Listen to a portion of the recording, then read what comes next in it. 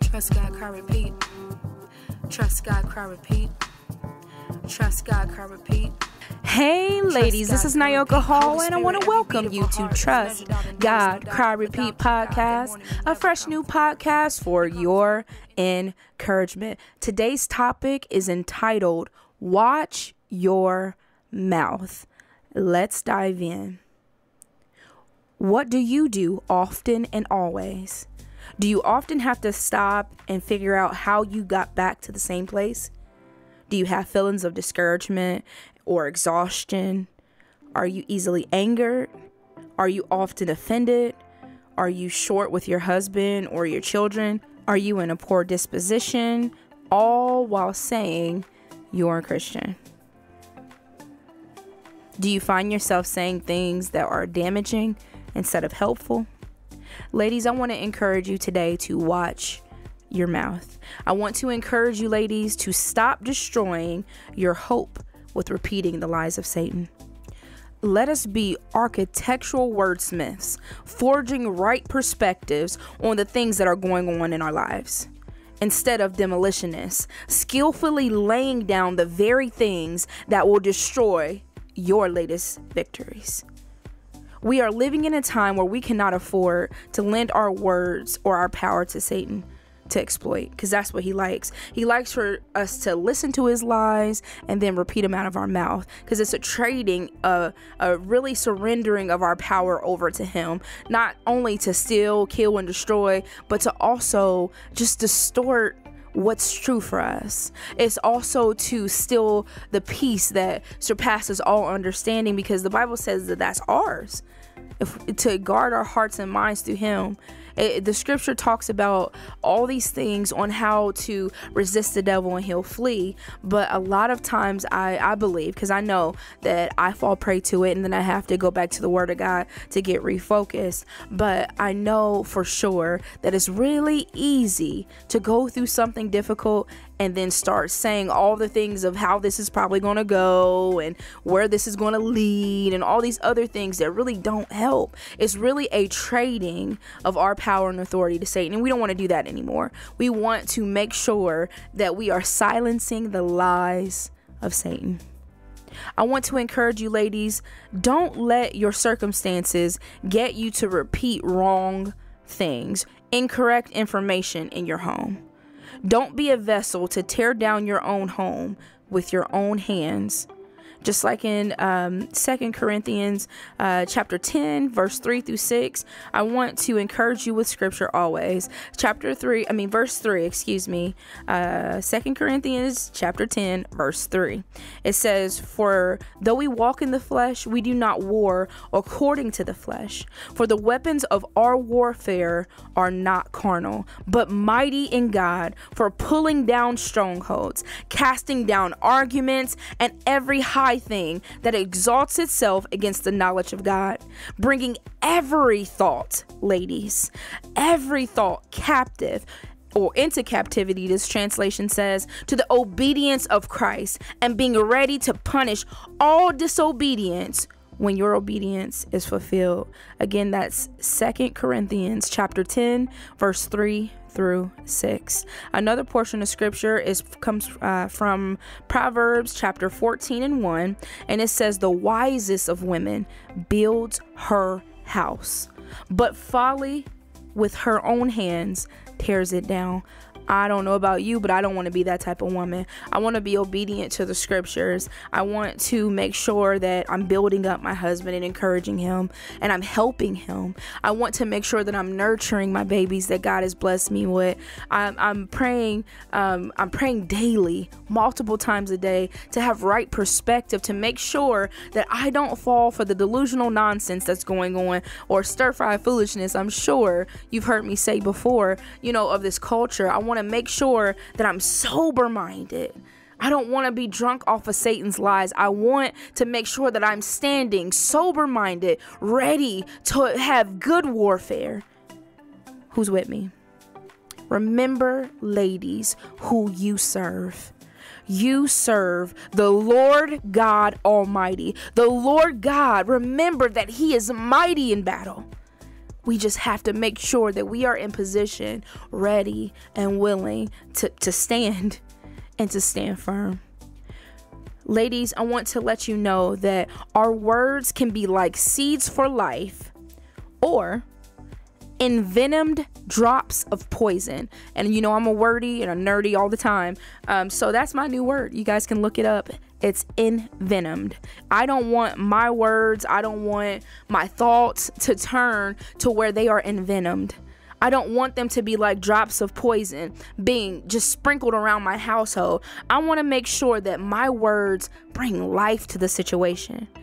I want to make sure that I'm operating out of, you know, the, the power of God. I want to make sure that I am not falling prey to the enemy because guess what? I've said it before and I'll say it again. Read your word, ladies. He's already defeated. But back to our topic, back to our topic when you make, I want to uh, caution you because it's something that um, in the middle of us, I think we were getting ready for dinner a few days ago, but it, it just kind of popped in my head. I wanted to write it down to share. When you make service in your home transactional, you lose the whole purpose of why you do what you do like okay my house runs well if this this this this and this gets done by this person you know, we don't want that transaction. You do this, I do this, everything's fine. No, if I have to do 55 tasks that day, you know, and my kids, for whatever reason, can only do the five combined, you know, that they're supposed to do. I still want to love them well. I still want to serve them with pure motive and pure intention. I still want to build my husband up as far as encouraging him and being his helpmeet, the one that God put in his life you know, or shall I say, the one that was found, you know, found by him. You know, I want to make sure that I am serving well, that I am presenting myself in a way that, again, brings life to my home. Our homes, ladies, should be a place where there is no fallout. I was reading a book by Nancy Wilson. It was so encouraging. It was about, um, it was uh, talking about uh, pastors' wives and what they can ex- you know, go through and how to encourage your husband. It was all good, like all uplifting, all upcur- uh, all encouraging. Excuse me. And that was one thing that she said in that book. Your house should be a place where there is no fallout you know where there's not it's not a place of destruction it's not a place of doom but it's in pla- a place of encouragement a place of reviving like you can have the worst day possible but when you come home it should bring life ladies it should be such an atmosphere that we are used to lifting up the name of the Lord. We are used to opening our Bibles. We are used to encouraging. We are used to taking every thought captive to obey Christ. And we're going to share that that scripture in a minute. But I'm just saying, ladies, build your homes wisely. Build your homes wisely. Encourage your family. I want to encourage you also serve your husband and children out of pure love and devotion to jesus christ and with the appreciation for what god entrusted you with I counted a blessing to be a mother of three. I counted a blessing because I remember being told that it's physically impossible for me to ever conceive. You'll have to tune into another uh, podcast uh, where I share more about my story or hop over to trustgodcryrepeat.com where I'm able to share a little bit further. But I'm grateful for what God has given me, even in the imperfection of, of how things turn out and certain things. But I know that we are intentionally living for Jesus Christ here intentionally. I want to share with you, ladies, and this is not off topic. It actually um, matters uh, to our topic because it's important to watch how you treat the little members of your household. And I mean that, like, don't treat them if they are not um, confessing Christ yet. I mean, I mean young babies, like the little toddlers, young kindergartners, you know, elementary school. Encourage them in the Lord.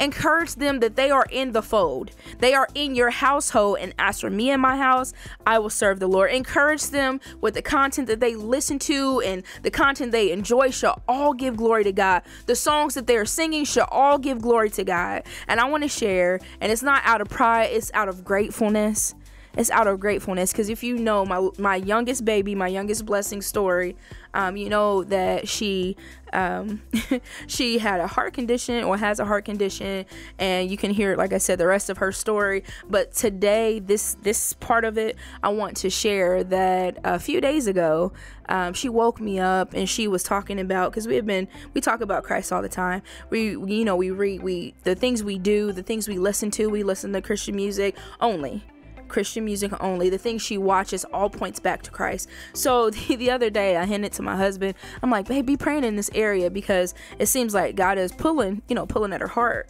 And she's only four years old. So I'm like, okay, uh, we always prayed from the youngest, I mean, from our oldest all the way down. We've always uh, prayed, God, please save them young please save them young. I know I wasn't saved as a young child. Um, it was later on in life. I don't want that for them, Lord. If it's your will, I know it is for for all to be saved, Lord. If they submit to you, so I pray. He prayed, and we've been praying over her for for years since she was born. you know, so this particular morning, she was like, "Mom," because I told her we talked about it before. We talked about you know surrendering to the Lord. We talked about um giving our lives to Christ and how we do that. We've talked about baptism because she was intrigued with baptism she um, we talked about all these things, right? So I told her um, about a couple weeks ago, or about a week and a half ago, I said, "You, you know, you let me know whenever you're ready." and we'll pray together. That's what I told her. So a few days ago, she comes, wakes me up, she's talking to me, you know, like, you know, kindergartners do. And she was like, Mom, I'm ready. And you know, if you're a parent of a younger kid, they say some random stuff, so you don't know kind of where that's going. You're ready for what? It's early in the morning, blase, blase. But she said, No, mom, I'm ready. I'm ready to pray. And at home, she would, in her room, we went to pray, and she asked the Lord to be her Lord and Savior she repented of her sins and she she she said that she knows that Jesus died and rose. She said her little four year old words, um, but she knows and she wants him to be the leader of her life. So I I shared that to encourage you, ladies. Keep praying over your children excuse me i had a little tickle in my throat. I'm not crying you are. Um so keep praying with your children. Keep encouraging your children. It's all it's not all for naught because that it seems like the biggest thing that the enemy wants to push is discouragement. He wants you to speak out your mouth when things don't go right how this is going to end for your children. I rebuke that in jesus name. Make sure that even in the difficult times you are saying but you will grow into to be a godly young man. I tell my son that. You are a hero you're not a villain. You know know, I tell my daughters this that you will you will serve the Lord. I mean, you they're all now saved and feel you know filled. So I'm saying honor God in all that you do. Encourage them. If they fall off as far as, um, you know, they're having a rough day or they do something that's not really according to um, how you think it should go, encourage them, get them back on. Get them back on point to where they should go. It's not all for naught because they're not perfect, because, newsflash, none of us are.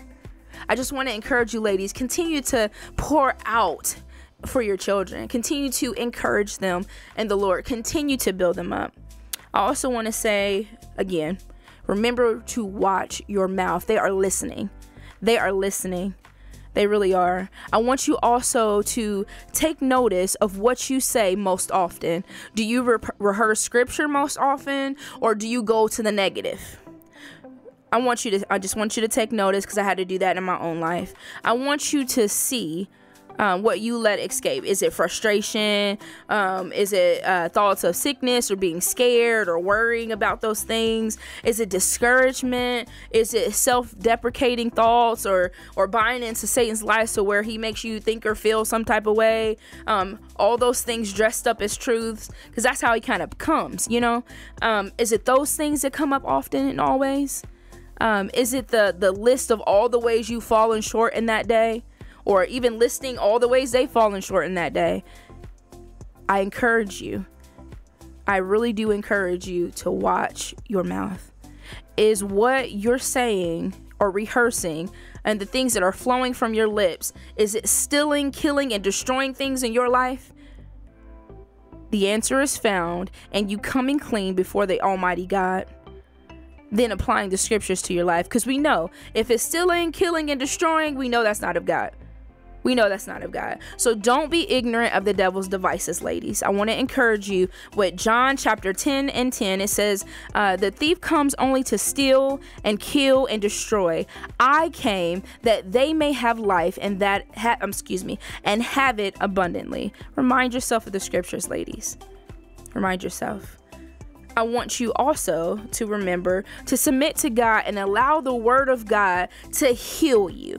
Let the Word of God heal you. Those areas in which we don't even want to mumble to another living soul. Allow God's work because it will. It will go deeper than you will ever expect anything else to go. Allow God and His Word to heal you.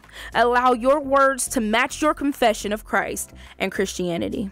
There is a blessing. Remember, ladies, there is a blessing in community. So, as I always say, reach out to someone else. Let them know that you are glad they're still alive. Let them know that you are grateful to even be able to, you know, lift up the name of Jesus with them. Fellowship enjoy a meal, beat them in a board game. I don't know. You know, just reach out and make sure you stay connected because that is another divisive thing that the enemy is using to separate, to isolate women so he can try to destroy them. Don't allow it. Don't allow it. Don't stand for it.